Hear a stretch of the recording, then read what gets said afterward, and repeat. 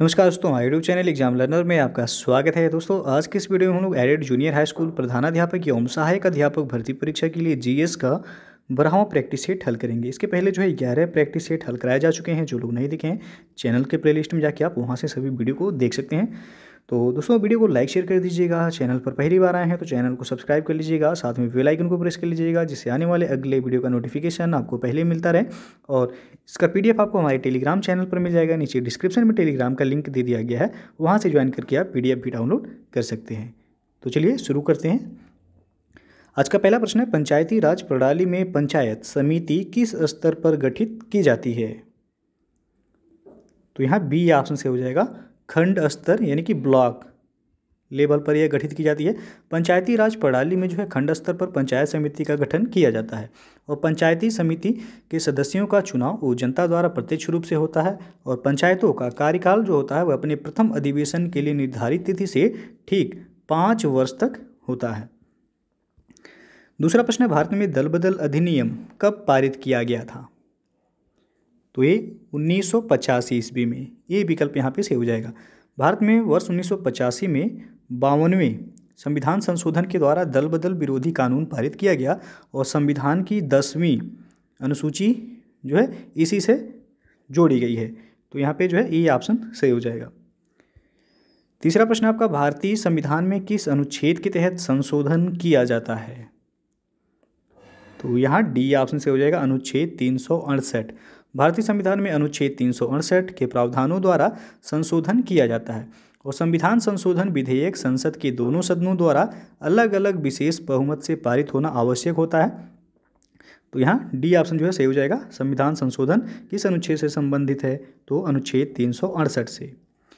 चौथा प्रश्न है, भारत के मुख्य निर्वाचन आयुक्त की पदावधि किस उम्र सीमा तक होती है?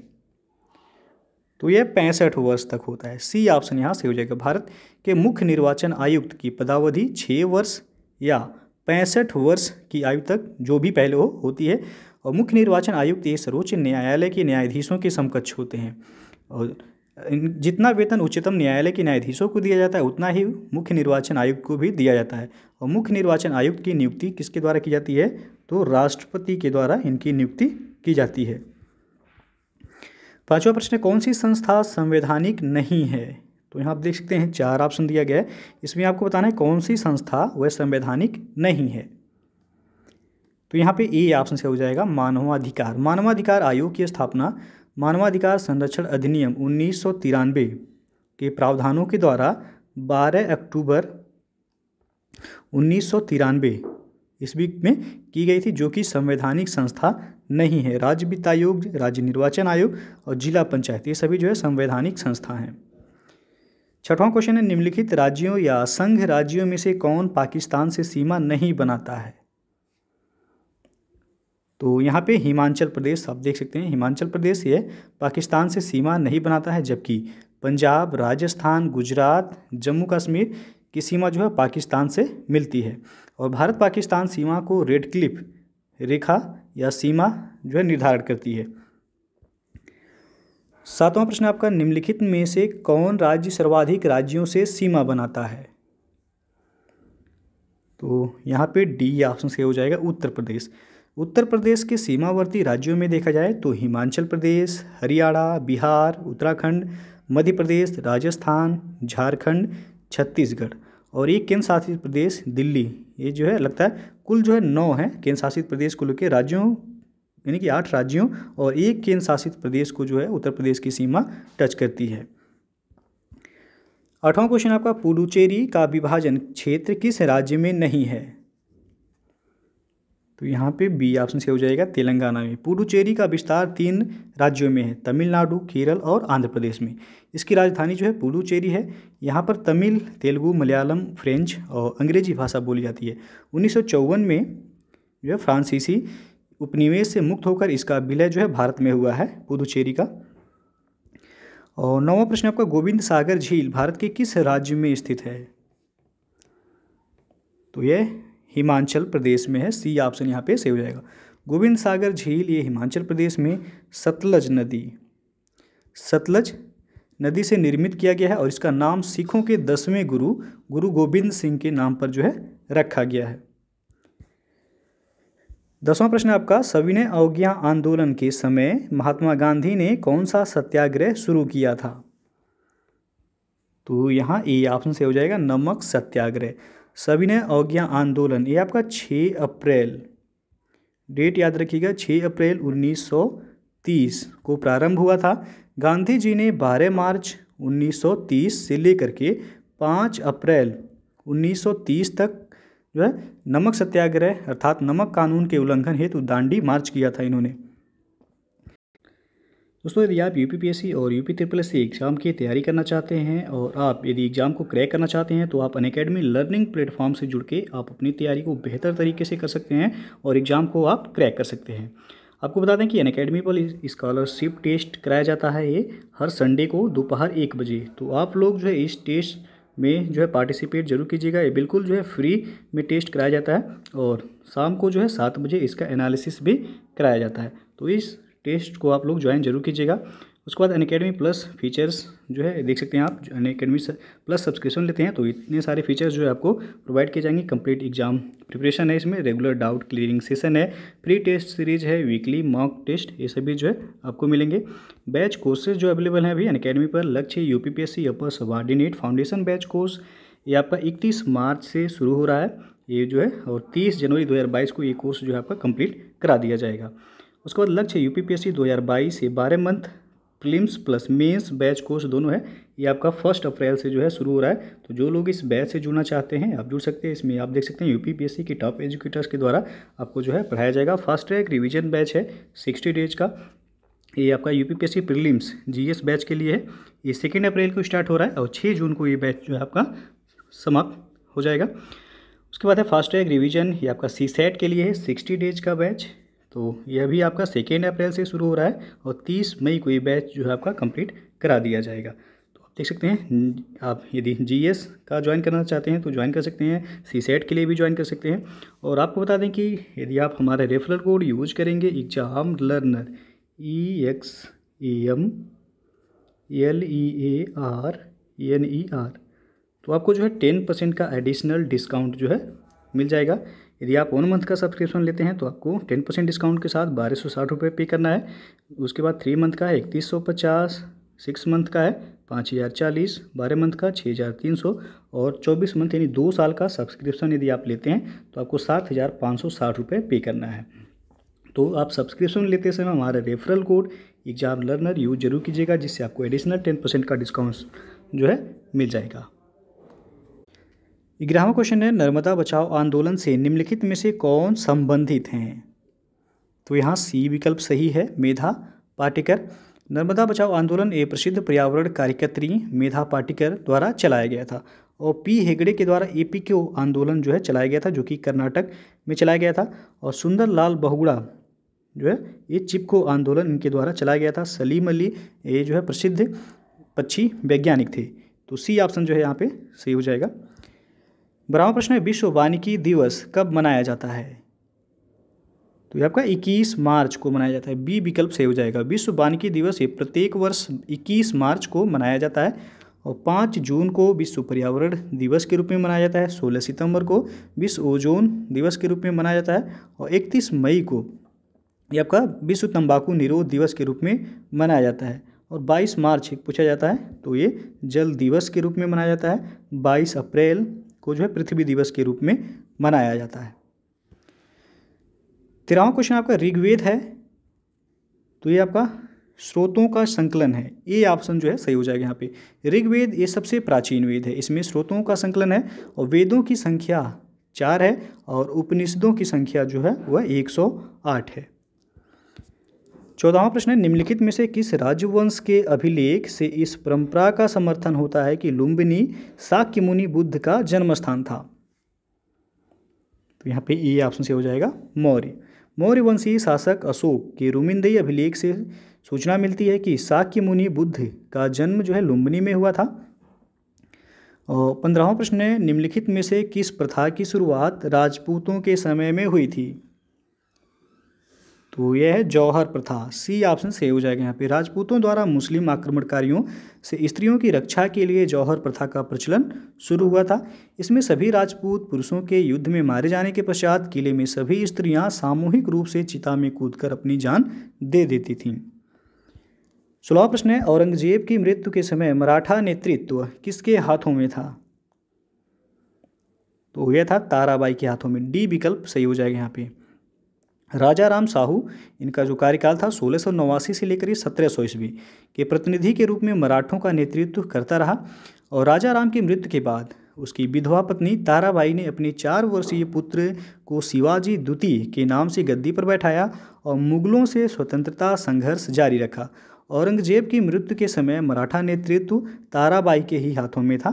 तो डी ऑप्शन जो है, सही हो जाएगा यहाँ सत्रहवा प्रश्न है, ब्रिटिश भारत की राजधानी का कलकत्ता से दिल्ली स्थानांतरण किसके काल में क्रियान्वित हुआ? तो यह हुआ था लॉर्ड हार्डिंग के कार्यकाल में। वायसराय लॉर्ड हार्डिंग के समय भारत की राजधानी का कलकत्ता से दिल्ली स्थानांतरण किया गया और वायसराय लॉर्ड हार्डिंग ने 1911 ईस्वी में जॉर्ज पंचम एवं महारानी मेरी को भारत बुलाया तथा दिल्ली में भव्य दरबार का आयोजन किया, जिसे दिल्ली दरबार के नाम से जाना जाता है। इसी दरबार में बंगाल विभाजन को रद्द कर दिया गया तथा राजधानी के स्थानांतरण की घोषणा की गई। तो 1911 में इसकी घोषणा हुई थी और 1912 में जो है दिल्ली जो है, ये भारत की नई राजधानी बनी थी। अठारह प्रश्न है रॉलेट एक्ट किस वायसराय के काल में पारित हुआ था? तो यहाँ पे सी ऑप्शन सही हो जाएगा, Lord James Ford. Lord James Ford ये वर्ष 1916 से लेकर के 1921 के मध्य जो है भारत के वायसराय रहे। इन्हीं के कार्यकाल में 1919 में जो है रॉलेट एक्ट ये पारित हुआ था। उन्नीसवा प्रश्न है, गुरुत्वाकर्षण के सार्वभौमिक नियम का प्रतिपादन किसने किया था? तो ये थे न्यूटन। ये विकल्प से हो जाएगा। गुरुत्वाकर्षण के सार्वभौमिक नियम का प्रतिपादन न्यूटन ने किया था और इस नियम के अनुसार दो पिंडों के बीच लगने वाले आकर्षण बल का परिणाम उन पिंडों के द्रव्यमान के गुणनफल के समानुपाती तथा उनके बीच की दूरी के व्युत्क्रमानुपाती होता है। बीसवा प्रश्न निम्नलिखित में किसके लिए माध्यम आवश्यक नहीं है? तो आप देख सकते हैं यहाँ पे, आपको बताना है किसके लिए जो है माध्यम की आवश्यकता नहीं है। तो यहाँ पे ए ऑप्शन से हो जाएगा विकिरण विकिरण द्वारा उष्मा के स्थानांतरण में किसी माध्यम जैसे वायु अथवा जल की आवश्यकता नहीं होती है। इक्कीसवां क्वेश्चन है, भारतीय संविधान में समानता का अधिकार पाँच अनुच्छेदों द्वारा स्वीकृत हैं। वे अनुच्छेद बताने हैं कौन कौन से हैं? तो अनुच्छेद चौदह से लेकर के अट्ठारह यानी कि बी ऑप्शन सही हो जाएगा यहाँ पे। भारतीय संविधान द्वारा समानता का अधिकार जो दिया गया है आपका अनुच्छेद चौदह से अट्ठारह में दिया गया। धर्म पालन करने का अधिकार, वो पच्चीस से अट्ठाईस है। स्वतंत्रता का अधिकार, अनुच्छेद उन्नीस से बाईस में जो है, वर्णित है। बाईसवां प्रश्न निम्नलिखित में से कौन जल से हल्का है? तो यह है सोडियम। बी ऑप्शन सही हो जाएगा यहाँ पे। सोडियम का अपेक्षिक घनत्व जो होता है, ज़ीरो दशमलव नौ सात होता है। और जल से हल्का होने के कारण यह जल पर जो है तैरने लगता है। तेईसवां क्वेश्चन है, लाल रक्त कणिकाएँ मुख्यतया बनती हैं। तो यह अस्थिमज्जा में डी ऑप्शन से हो जाएगा। लाल रक्त कणिकाएँ श्वसन अंगों से ऑक्सीजन लेकर सारे शरीर में पहुँचाने का कार्य करती हैं और लाल रक्त कणिका अस्थि मज्जा, यानी कि बोन मैरो में विकसित होती हैं तथा मनुष्य के शरीर में लगभग 120 दिनों तक ये प्रसारित होती रहती हैं। तिल्ली या प्लीहा, जिसे स्प्लीन कहते हैं, ये पुरानी रक्त कणिकाओं को नष्ट करने का कार्य करता है। चौबीसवां प्रश्न, निम्नलिखित में से कौन सा रोग एक वायरस द्वारा होता है? तो यहाँ पे हो जाएगा डी ऑप्शन सही, हेपेटाइटिस। हेपेटाइटिस बी एक संक्रामक रोग है, जो कि हेपेटाइटिस बी नामक वायरस के कारण होता है। और इस व्याधि के कारण यकृत, यानी कि लीवर में सूजन एवं जलन पैदा हो जाती है। हेपेटाइटिस वी वायरस जो है, ये हेपा डीएनए वायरस, परिवार का एक जो है, सदस्य है ये। पच्चीसवां प्रश्न है, अब निम्नलिखित वृक्षों में कौन पारिस्थितिकी मित्र नहीं है? तो यह यूकेलिप्टस। बी ऑप्शन जो है सही हो जाएगा। यूकेलिप्टस को उसकी अत्यधिक जल ग्रहण शक्ति के कारण पर्यावरण शत्रु के रूप में घोषित किया गया। है इसको जिस स्थान पर लगाया जाता है, वहाँ की मिट्टी का जलस्तर काफ़ी नीचे चला जाता है। तो इसलिए जो है, इसे पर्यावरण का जो है शत्रु माना जाता है। छब्बीसवां प्रश्न है भोपाल गैस त्रासदी से संबंधित यौगिक का नाम क्या था? तो आप सबको पता होगा, सी ऑप्शन से हो जाएगा मिथाइल आइसो साइनाइड जिसे एमआईसी कहा जाता है शार्ट फॉर्म में। भोपाल गैस कांड, ये आपका उन्नीस सौ चौरासी ईस्वी में हुई थी और भोपाल में स्थित ये यूनियन कार्बाइड नामक कंपनी से जो है मिथाइल आइसोसाइनाइड नामक जहरीली गैस के रिसाव से हज़ारों लोगों की मृत्यु हुई थी और इस गैस को मिक गैस भी कहते हैं। याद रखिएगा, इसको जो है मिक गैस के नाम से भी जाना जाता है। तो दो से लेके जो है तीन दिसंबर उन्नीस सौ चौरासी के बीच जो है ये आपका घटना हुआ था। सत्ताईसवा प्रश्न है आपका, नाभिकीय ऊर्जा का उपयोग प्रायः कारक है किसका?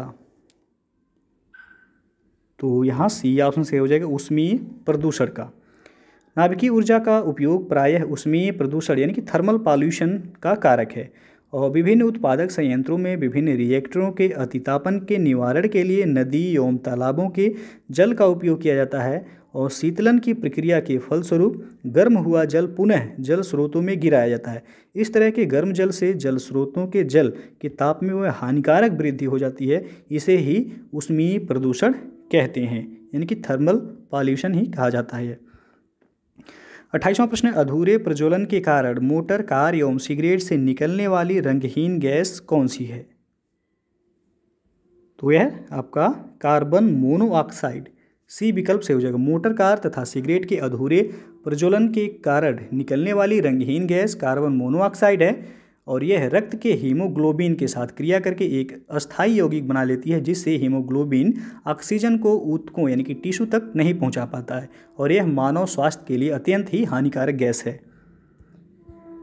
उनतीसवां प्रश्न, एक पारिस्थितिक तंत्र में ऊर्जा की मात्रा एक पोषण स्तर से अन्य स्तर में स्थानांतरण के पश्चात तो आपको बताना है, घटती है, बढ़ती है या फिर स्थिर रहती है या बढ़ सकती है या घट सकती है। तो इसमें जो बी ऑप्शन से हो जाएगा घटती है। पारिस्थितिक तंत्र में ऊर्जा का प्रवाह वह अजैविक प्रणाली से लेकर के जैविक प्रणाली की दिशा में होता है और उष्मा गतिकी के दूसरे नियम के अनुसार जब ऊर्जा एक पोषण स्तर से अन्य, यानी कि दूसरे स्तर में स्थान परिवर्तित करती है, तब उसका कुछ जो है, ह्रास होता है। अर्थात हर पोषण स्तर पर उपलब्ध ऊर्जा की मात्रा वह घटती जाती है, इसलिए शीर्ष मांसाहारियों को सबसे कम ऊर्जा की प्राप्ति होती है। तो यहाँ बी ऑप्शन से हो जाएगा आपका घटती है। तीसरा प्रश्न है, पारिस्थितिक तंत्र यानी कि इकोसिस्टम में उच्चतम पोषण स्तर प्राप्त है। तो यहाँ पे सी ऑप्शन से हो जाएगा सर्वाहारी वर्ग को। पारिस्थितिक तंत्र में की आहार श्रृंखला में उच्चतम पोषण व सर्वाहारी यानी कि ऑमनीबोरस को प्राप्त होता है। इकतीसवां प्रश्न आपका जीएसटी किस तरह का कर है? अब प्रत्यक्ष कर है या प्रत्यक्ष कर है, या फिर वस्तुओं एवं सेवाओं के प्रकार पर निर्भर करता है। तो यहाँ पे आपका बी ऑप्शन से हो जाएगा। जीएसटी एक अप्रत्यक्ष कर है। जीएसटी यानी कि गुड्स एंड सर्विस टैक्स ये पूरे देश के लिए एक अप्रत्यक्ष कर है, जो कि भारत को एकीकृत, साझा बाज़ार के रूप में परिवर्तित कर दिया है। और बत्तीसवां जो प्रश्न है आपका, भारत में निर्धनता के स्तर का आकलन किया जाता है। तो सी ऑप्शन से हो जाएगा परिवार के उपभोग व्यय के आधार पर।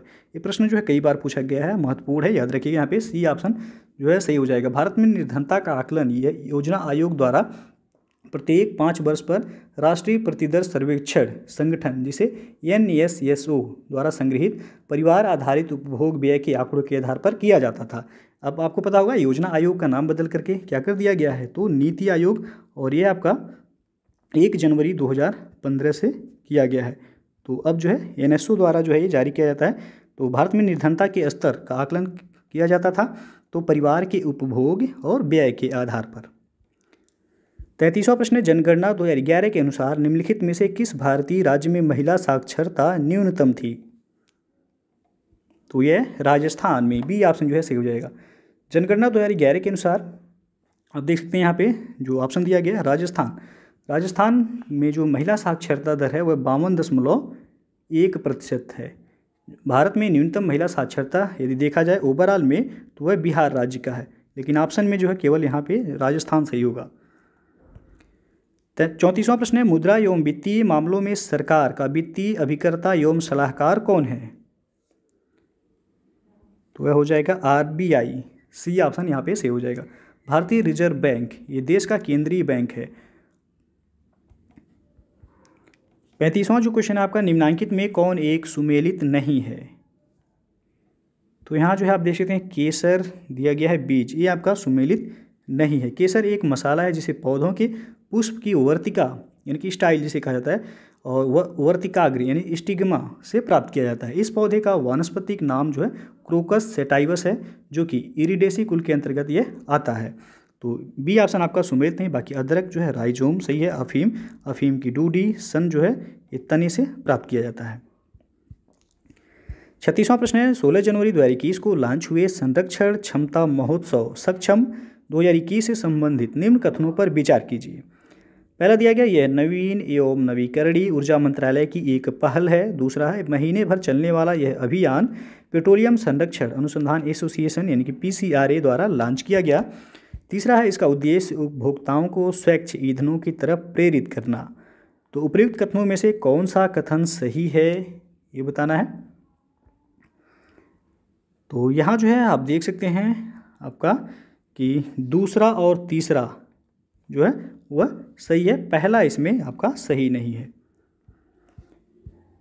सैंतीसवां प्रश्न आपका सत्रह जनवरी दो इक्कीस को प्रसिद्ध शास्त्रीय गायक और संगीतकार उस्ताद गुलाम मुस्तफ़ा खान का निधन हो गया। उन्हें किस वर्ष पद्म विभूषण से सम्मानित किया गया था। तो डी ऑप्शन सही हो जाएगा, वर्ष 2018 में 17 जनवरी 2021 को प्रसिद्ध शास्त्रीय गायक और संगीतकार उस्ताद गुलाम मुस्तफ़ा खान का निधन हो गया। वह नवासी वर्ष के थे 89 वर्ष के थे, जिनका भी जो है हाल ही में निधन हुआ है। अड़तीसवां क्वेश्चन है 9 जनवरी दो हज़ार इक्कीस को सोलहवां प्रवासी भारतीय दिवस सम्मेलन को आभासी प्रारूप में, यानी कि वर्चुअल माध्यम से आयोजित किया गया। इससे संबंधित सही कथन पर विचार कीजिए। तो इसमें आप देख सकते हैं ये ऑप्शन कि इस बार सूरीनाम के राष्ट्रपति चंद्रिका प्रसाद संतोखी इस सम्मेलन के मुख्य अतिथि रहे।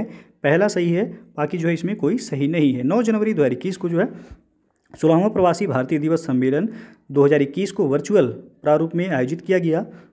यह सम्मेलन विदेश मंत्रालय का प्रमुख कार्यक्रम है तथा प्रवासी भारतीयों के मध्य संवाद स्थापित करने एवं उनसे जुड़ने के लिए एक महत्वपूर्ण मंच प्रदान करता है। इस सम्मेलन का मुख्य विषय यानी कि थीम जो रहा आत्मनिर्भर भारत में योगदान था और इस बार सम्मेलन के मुख्य अतिथि सूरीनाम के राष्ट्रपति चंद्रिका प्रसाद संतोखी थे।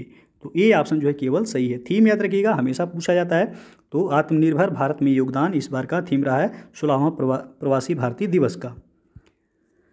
उनतालीसवां प्रश्न है, निर्माणाधीन त्रिपुरा बांग्लादेश मैत्री सेतु किस नदी पर स्थित है?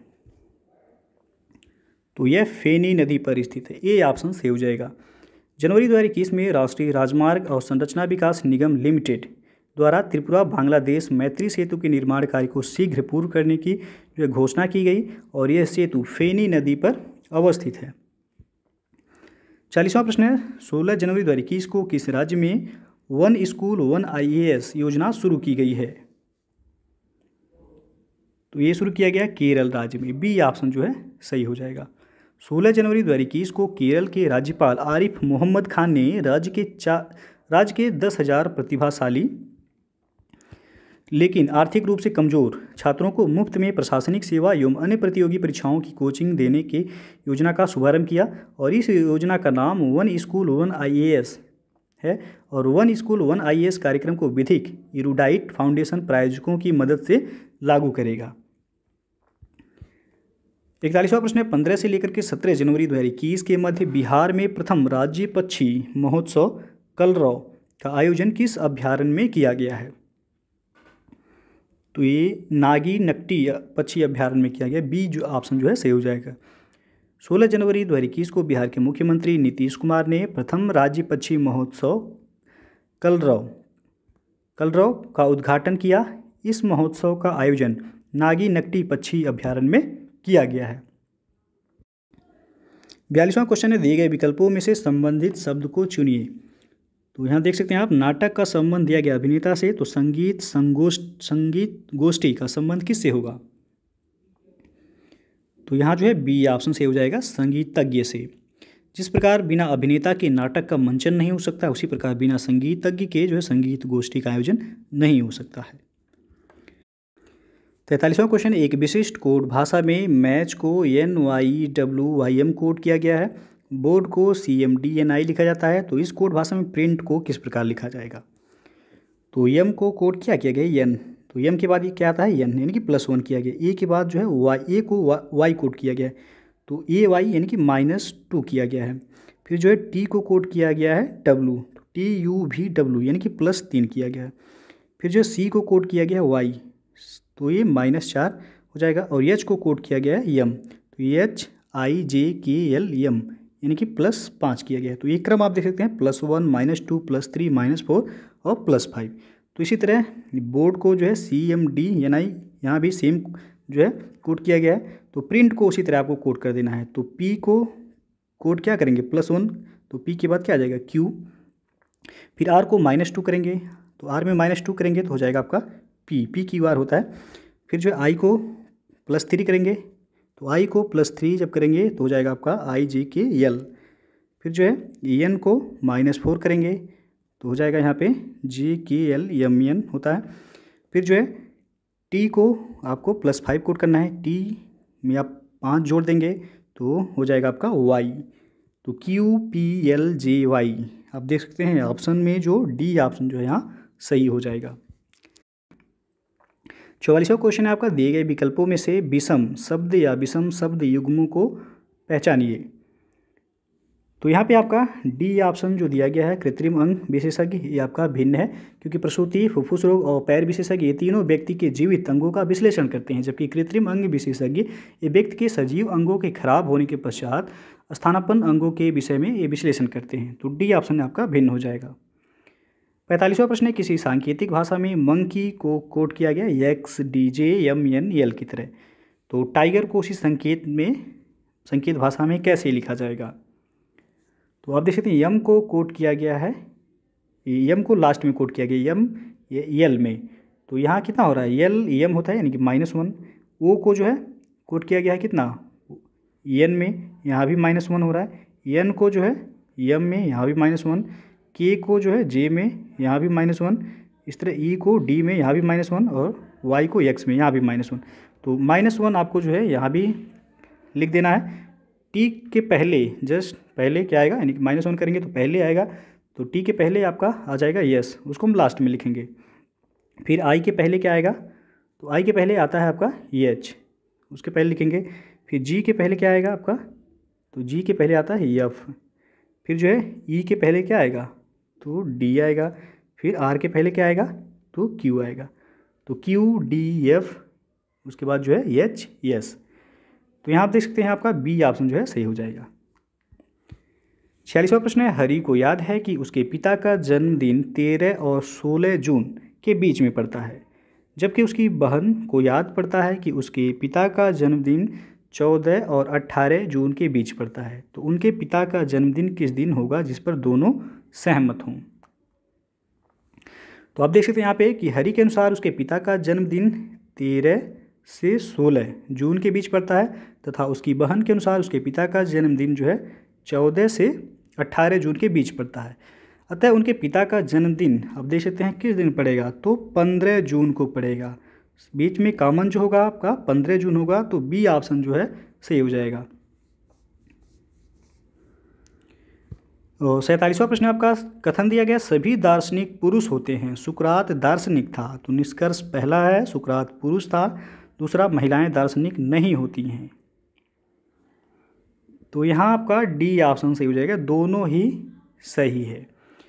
प्रश्न में आपका दिया गया है कि चूँकि सभी दार्शनिक पुरुष होते हैं, अतः महिलाएँ दार्शनिक नहीं होती हैं साथ ही चूँकि सुकरात दार्शनिक था, अतः सुकरात जो है पुरुष था। इस प्रकार दोनों ही निष्कर्ष आपका क्या होगा, यहाँ सही होगा। अड़तालीसवा प्रश्न है, डायनो एडवेंचर पार्क एवं फासिल्स म्यूज़ियम कहाँ स्थित है? तो ये मांडू में है। सी ऑप्शन जो है, सही हो जाएगा आपका। उनचासवां क्वेश्चन है, भारत छोड़ो आंदोलन के दौरान उत्तर प्रदेश में कहाँ पर समानांतर सरकार की स्थापना की गई थी?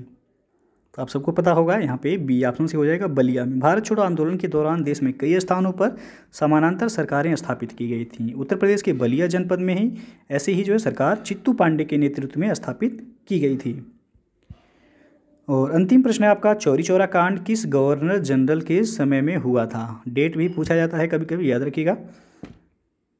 तो यहाँ पे आपका सी ऑप्शन से हो जाएगा लॉर्ड रीडिंग के समय। चौरी चौरा ये उत्तर प्रदेश के गोरखपुर जनपद में स्थित है और असहयोग आंदोलन के दौरान, फरवरी 1922 5 फरवरी 1922 ईस्वी में जो है लॉर्ड रीडिंग के समय ये घटना घटित हुई थी और इसी के पश्चात गांधी जी ने असहयोग आंदोलन स्थगित कर दिया था। और अभी हाल ही में जो है चौरी चौरा शताब्दी समारोह भी जो है मनाया जा रहा है। तो यहाँ पे सी ऑप्शन जो है सही हो जाएगा आपका। लार्ड रीडिंग के समय में यह कांड हुआ था। तो दोस्तों जो है ये था आपका एडेड जूनियर हाई स्कूल प्रधानाध्यापक एवं सहायक अध्यापक भर्ती परीक्षा के लिए जीएस का बारहवां प्रैक्टिस सेट इसके पहले जो हम ग्यारह प्रैक्टिस सेट वो हल करा चुके हैं। जो लोग नहीं देखे हैं, चैनल के प्लेलिस्ट में जाके आप वहाँ से सभी वीडियो को देख सकते हैं। तो वीडियो यदि पसंद आया हो तो लाइक शेयर कर दीजिएगा। चैनल को सब्सक्राइब नहीं किए हैं तो चैनल को सब्सक्राइब ज़रूर कर लीजिएगा। साथ में बेलाइकन को प्रेस कर लीजिएगा, जिससे आने वाले अगले वीडियो का नोटिफिकेशन आपको मिलता रहे। तो वीडियो को पूरा देखने के लिए बहुत बहुत धन्यवाद।